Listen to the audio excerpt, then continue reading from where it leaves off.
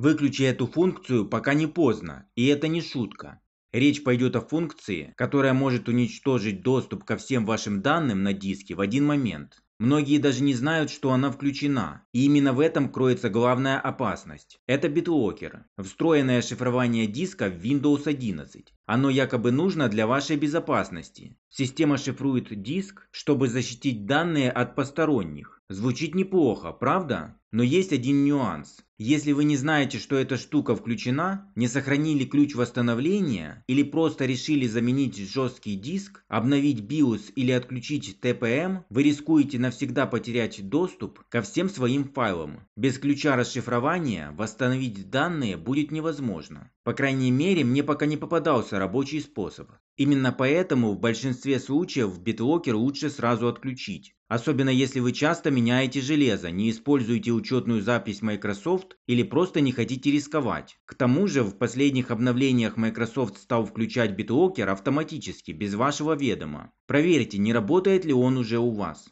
Сделать это просто. Откройте проводник и посмотрите. Если на значке диска есть замок, значит диск зашифрован.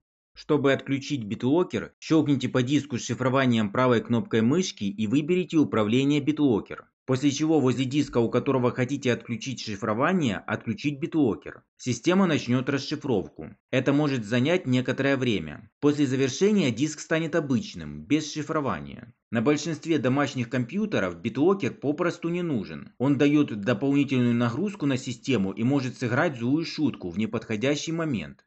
Если вы используете компьютер только дома или не храните на нем что-то секретное, лучше отключите его, чтобы не потерять доступ к данным в будущем.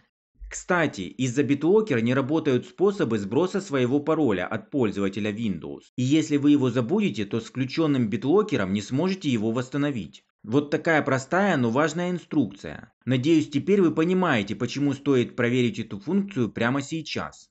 Спасибо за просмотр. Если вы нашли это видео полезным или интересным, не забудьте поставить ему лайк и подписаться на канал. Увидимся в следующем видео. Пока.